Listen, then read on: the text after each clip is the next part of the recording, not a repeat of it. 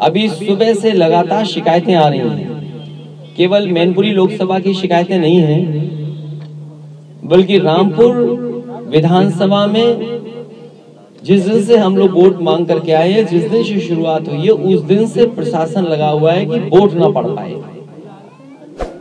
Vote ना पड़ने के सब तरीके अपनाए जा रहे हैं। मैं जब वहाँ रामपुर गया, हर चौराहे पर, हर सड़क पर पुलिस बड़ी संख्या में खड़ी थी। मुझे लगा कि ये पुलिस इसलिए खड़ी है कि सुरक्षा का इंतज़ाम कर रहे हैं। लेकिन जब सभा स्थल पे हम लोग पहुँचे हैं तब ये पता लगा कि वहाँ पर लोग ना आ जाए सभा में इसलिए पुलिस लगी हुई है। कल रात को प्रत्याशी को खुद बैठना पड़ा धरने पर और ये मांग करनी पड़ी कि यहाँ की पुलिस फेयर इलेक्शन नहीं करा सकती है फौज को लगा देना चाहिए।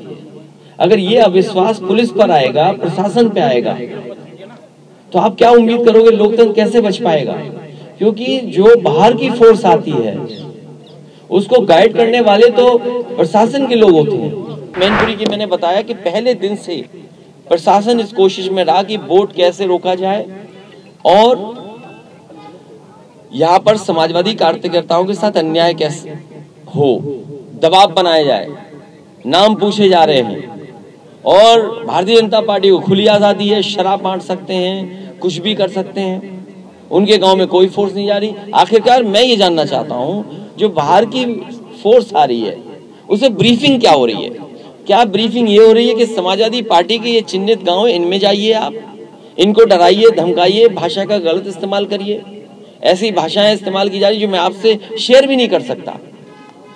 वो भाषा बोली जा रही है।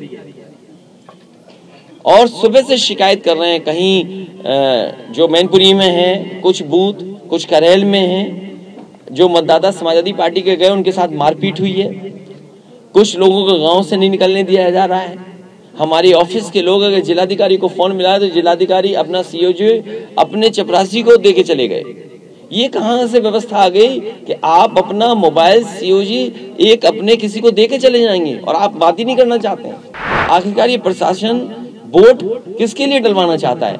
लेकिन मैं जानता हूँ, ये मैनपुरी नेताजी का घर, क्षेत्र, और यहाँ से नेताजी राजनीति करते करते राजनीति की ऊंचाइयों पर पहुँचे हैं। ये जितना कुछ सड़क, बिजली, पानी, पुल, या स्वास्थ्य की सेवाएँ, या तमाम इंतज़ाम जो दिखाई दे रहे हैं, वो सब नेताजी के कराए हुए हैं। भारतीय जनता पार्टी का यहाँ कुछ नहीं है। इसीलिए उन्होंने उधार का प्रत्याशी लिया। उनके पास अपना ऐसा प्रत्याशी नहीं था कि नेताजी की भावना का और नेताजी के पक्ष में जो मतदान होने जा रहा है, उसको रोक सकें। और आज भी बड़ी संख्या में मैनपुरी के लोग, समाजवादी पार्टी और नेताजी को याद कर करके एक एक वोट डाल रहे हैं।